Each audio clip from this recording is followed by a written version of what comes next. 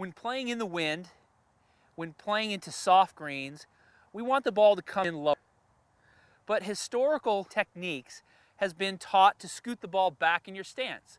And certainly that does hit the ball lower because you're de-lofting the club.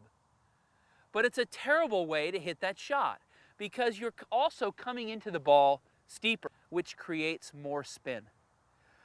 That's not the correct way to do it. We want to hit the ball lower, yes, but with less spin. How do we do that? We don't change anything in our setup position. We keep the same ball position, the same golf swing. The only difference is we're not going to go back as far. When we don't go back as far, we don't have as much time to create speed, which creates spin.